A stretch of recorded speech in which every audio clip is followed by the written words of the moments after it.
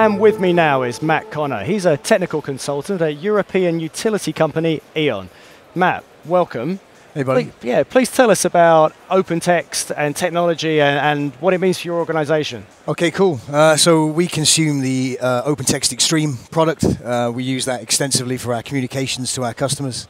So we use that for our billing, statementing, uh, customer journey comms, for example, sales packs, contracts, quotes.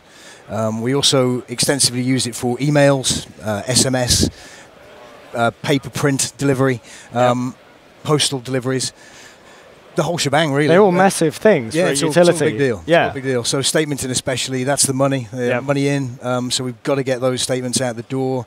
Around about 100,000 of those go out a day. Yep. So the Exstream product manages that data coming in.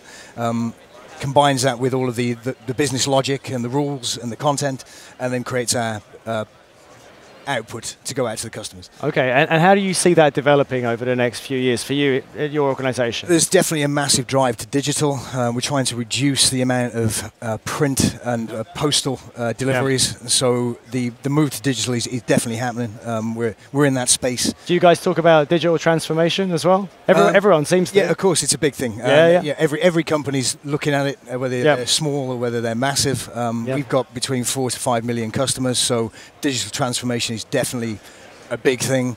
Um, we're, we're moving to web, we're moving to mobile apps, we're moving to uh, mobile comms. So yeah, I mean it's, it's a big deal. Okay, it's a big deal for us. For and, sure. and, beyond the Exstream, you you're looking at other things with OpenText. What what kind of things interest you?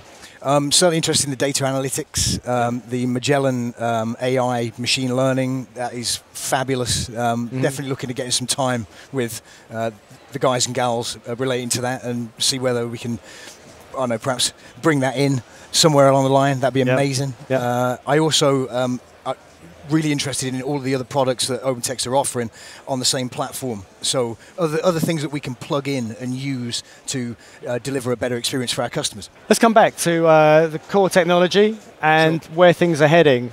If you could, you know, predict the future and say five years from now, this is this is what I'll be doing, what my company will be doing, tell, paint that picture. Okay, so I reckon in five years' time we're going to be seeing a lot more on-demand, a lot more real-time communication generation.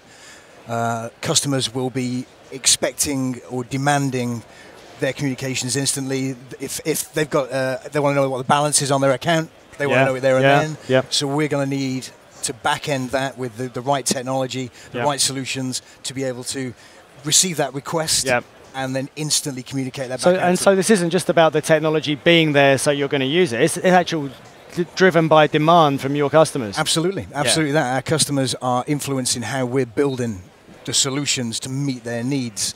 Yeah. Uh, if you think about the digital generation type stuff that's going on out there, it's there in the palm of their hand, and if it isn't there in the palm of the hand, then it doesn't exist. So right. we need to be able to back end that with the, the right technology and the right solutions. Yeah.